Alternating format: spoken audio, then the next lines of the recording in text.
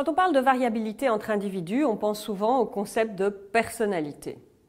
La personnalité en négociation, elle a été étudiée de plusieurs façons.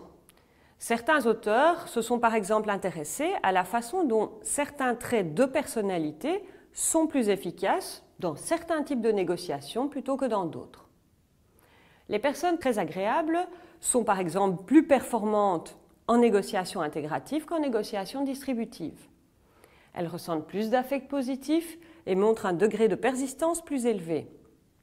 C'est le contraire qui se produit chez les personnes qui ont un score moins élevé en agréabilité. Pour ces dernières, ce sont les contextes distributifs plutôt qu'intégratifs qui produisent les meilleurs résultats.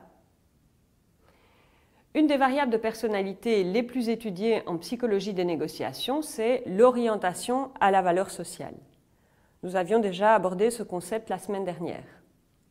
Pour rappel, l'orientation à la valeur sociale distingue les personnes prosociales des individualistes et des compétiteurs.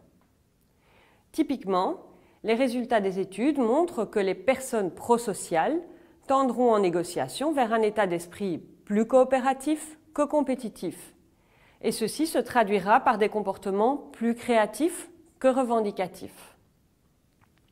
Inversement, les individualistes et les compétiteurs qui sont davantage centrés sur leur gain personnel adopteront plus facilement des comportements de compétition et montreront une certaine aversion pour les concessions ou pour des stratégies d'accommodation.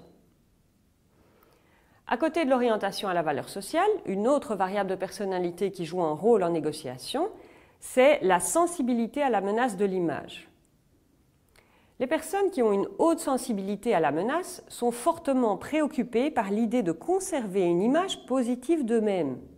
Ils sont particulièrement sensibles à toute menace qui risquerait de ternir cette image.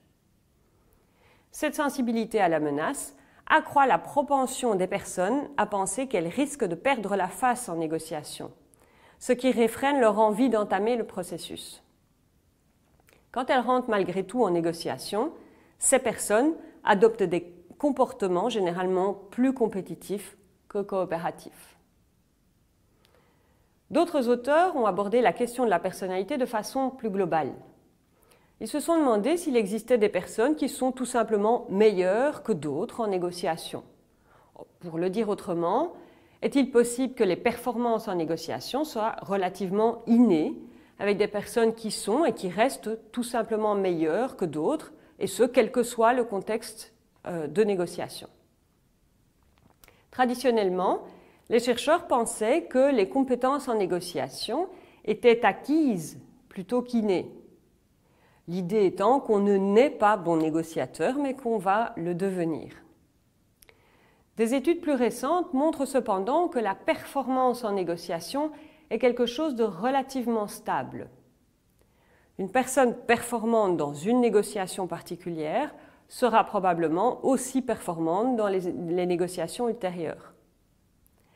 Cela ne veut pas pour autant dire que ces compétences soient totalement innées, mais cela souligne la stabilité des performances dans le temps.